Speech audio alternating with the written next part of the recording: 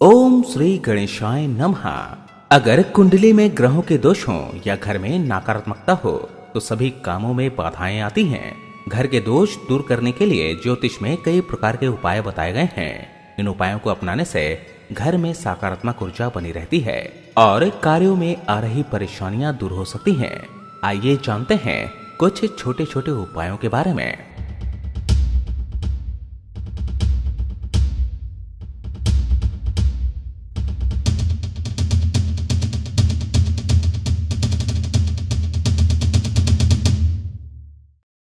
पहला, इन पाँचों का धुआँ कुछ देर के लिए घर में फैलाएँ। घर की नकारात्मक ऊर्जा को नष्ट करने के लिए हर रोज घर में पाँच पवित्र चीज़ों का धुआँ कुछ देर के लिए फैलाना चाहिए। ये पाँच चीज़ें इस प्रकार हैं। लोपान गुग्गल, कर्पूर, देसी घी और चंदन।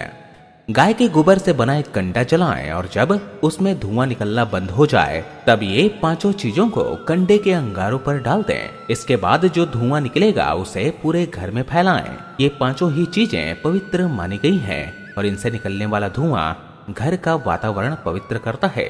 सूक्ष्म कीटाणु नष्ट होते हैं, सकारात्मक ऊर्जा बढ़ती है। ये काम सावधानी से करें। आग से संबंध में किसी भी प्रकार की लापरवाही ना करें। दूसरा गौमूत्र का छिड़काव करें। घर में समय समय पर गौमूत्र का छिड़काव करते रहना चाहिए। मान्यता है कि जिन घरों में ये उपाय किया जाता है, वहाँ सभी देवी देवताओं की कृपा बनी रहती है। गौमूत्र की तीव्र गंध से वातावरण में मौजूद हानिकारक कीटाणु नष्ट हो जाते हैं और वास्तु दोषों के साथ ही नकारात्मक ऊर्जा भी बेअसर हो जाती है। तीसरा, घर के बाहर बनाए रंगोली। हर रोज सुबह सुबह घर के बाहर रंगोली बनानी चाहिए। घर के अंदर और बाहर अच्छी तरह से साफ़ सफ़ाई करने के बाद घर के बाहर रंगोली बनाएँ। रंगोली को बहुत ही शुभ माना जाता है और इससे महालक्ष्मी की प्रसन्नता भी प्राप्त हो सकती है। तो ये तो फ्रेंड्स कंडे के ऊपर रखकर थोड़ी थोड़ी रोज जलाएँ ये चीज़ें। घर में नहीं घुसेगी गरीबी।